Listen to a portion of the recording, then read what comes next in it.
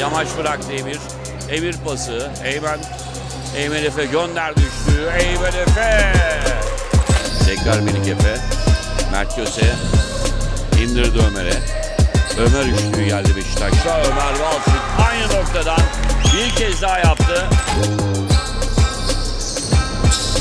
Efekan, Efekan Efe 3 sayılık atış. Efe Kağan yaptı.